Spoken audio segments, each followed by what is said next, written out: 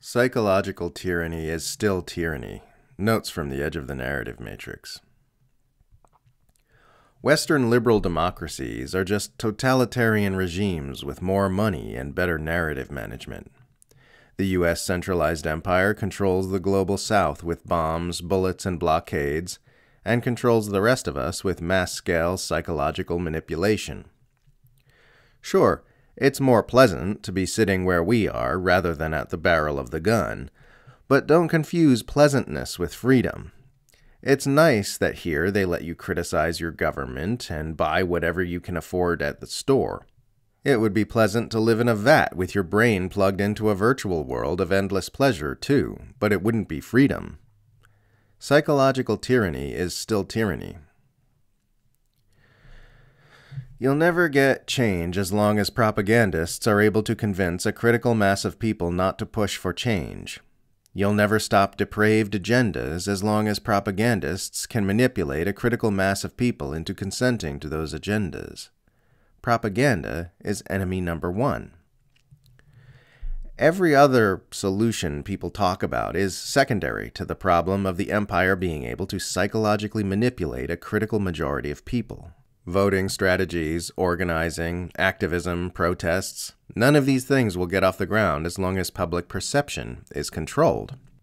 The good news is that public trust in the mass media is at an all time low, while our ability to share unauthorized ideas and information with each other is at an all time high. The bad news is it still hasn't been enough, and online censorship is increasingly suppressing dissent. So we need to get moving. What we need to do is work to exacerbate public distrust in imperial media and help people see that they're being continually deceived about their nation, their government, and their world by the powerful. Propaganda only works if people trust the source. This is the front line of the revolution. Everything else comes second, because until you deal with the fact that our enemy has the most powerful narrative control machine in the history of civilization, none of your other revolutionary ideals will ever be able to manifest. The imperial spin machine should therefore be our primary target. Attack the empire's news media and its manipulators in Hollywood and Silicon Valley, expose their lies, and weaken public trust in those institutions so that they can no longer be manipulated by them. Every positive change in human behavior, whether individual or collective, is always preceded by an expansion of consciousness. All we need to do is expand public consciousness of what's really happening. The more people wake up, the more people will be available to help us. Every healthy impulse gets twisted by our rulers. The push toward equality for women got twisted into doubling the workforce and slashing worker pay the push for racial equality and LGBT rights gets twisted into having to vote for abusive imperialist political parties. The healthy impulse for global worker solidarity sees imperialist narrative managers finger wagging at leftists that they must display solidarity with protesters in empire targeted nations and with Ukrainian soldiers fighting in a U.S. proxy war. Everything healthy gets twisted. None of this means those healthy impulses are now unhealthy.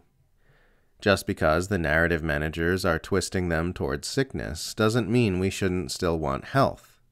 The problem isn't social justice movements, etc., it's the manipulations that get placed over top them. This is why I place so much emphasis on overthrowing imperial narrative control. The empire's ability to manipulate the dominant narratives in our society is what keeps us ineffective and confused. Until we can crush their ability to twist perception of reality, they've got us. Opposing U.S. warmongering against China offers the anti war left an area in which they can publicly outperform and surpass the anti war right because most of the rightists who are good on opposing warmongering against Russia are absolute dogshit when it comes to making peace with China.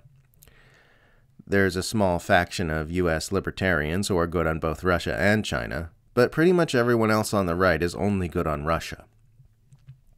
most leftists could do a much better job on opposing warmongering against China, which appears to be headed toward a truly nightmarish confrontation in the coming years. Doing so would let the anti war left reclaim some of the public ground it has lost to the anti war right. Best case scenario, the true left rebuilds its reputation as a real anti war force and reclaims some of the public sympathy that has gone to the right. Second best scenario is the anti war right responds by stepping up its game and getting less horrible on China to remain relevant. It's actually a good thing that young people are becoming more sensitive and demanding more sensitivity from their world. The world is troubled because there isn't enough sensitivity, not because there's too much. The world needs softer hearts, not harder hearts. It needs more people leaning in with curiosity, not leaning back with cold apathy. It needs more emotional intelligence and less emotional sedation. We've seen what a world ruled by hardened men looks like. It isn't good. Keep growing your sensitivity. Keep peeling the callus from off your hearts. You cannot be bowled over by the beauty of your world if your eyes are covered in cataracts of insensitivity.